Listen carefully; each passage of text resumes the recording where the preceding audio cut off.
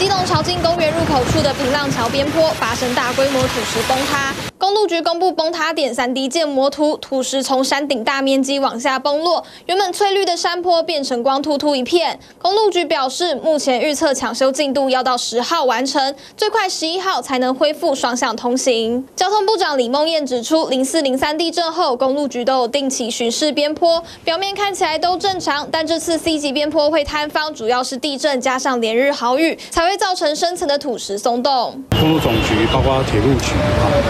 都在能够在一个月内，呃，针对西级的边坡，呃，是不是有类似的状况，呃，再做一个诊断跟判定。李梦燕强调，将会针对外观状况看起来良好的边坡做进一步的全面检视，希望能够及早发现是否有崩塌风险，提升用路人的安全。想看最完整的新闻内容，记得下载 TVBS 新闻网 APP。